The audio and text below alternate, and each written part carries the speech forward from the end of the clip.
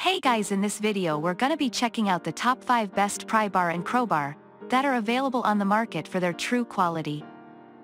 I made this list based in my personal opinion and hours of research and have listed them based on popularity, quality, price, durability, user opinions and more. If you want to see more information in the updated price you can check out the description below and also make sure subscribe for more reviews. Okay so let's get started with the video.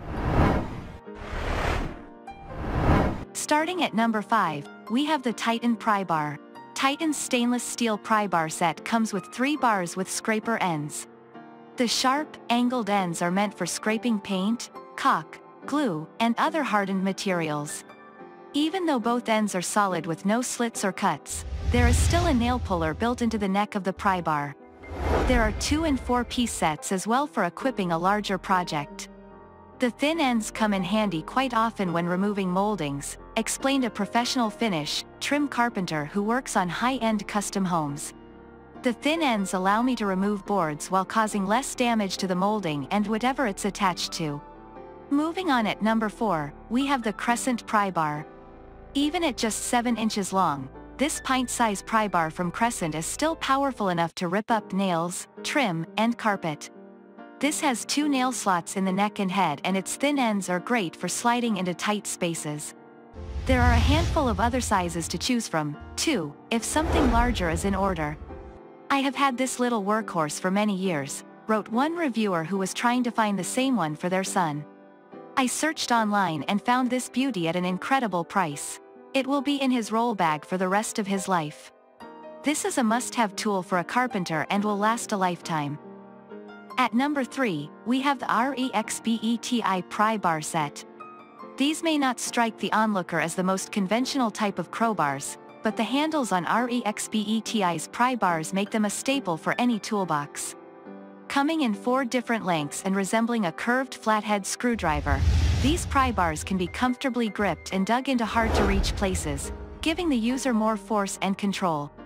I have been able to utilize these pry bars putting in my vinyl plank flooring, and, these worked excellent while changing the brakes on my car, wrote a reviewer. These are very versatile, from one extreme to another, and handle both extremely well. At number 2, we have the Craftsman 42-inch pry bar. Hefty leverage and a long reach require a crowbar with length, and Craftsman's 42-inch pry bar is a worthy choice. What makes it such a highly rated demolition tool? Its thick metal body, which works well under strong pressure that would normally cause other crowbars to break. It also has beveled ends with sturdy slots for pulling up nails. Between this and a nice sledge, I brought down a pretty large brick fireplace and chimney, explained one reviewer.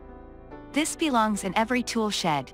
You just never know when you're going to need some serious leverage, and this works. And finally at number 1, we have the Trade Underlay Pry Bar.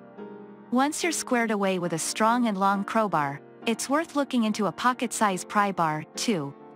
Trade Underlay's mini crowbar is 11 inches long, making it a great compact option for smaller tasks. It's perfect for getting up close and personal with trim and molding that's been tightly installed and it won't take up much space in your toolbox or when it's toted around. Reviewers have found it useful for everything from laying laminate flooring to popping out CV axles. Thanks you for watching guys, I hope you liked this video if this video is helpful to you. Please make sure like comment and subscribe, if you have any question related to this product you can leave a comment down below. I will get back to you as soon as possible.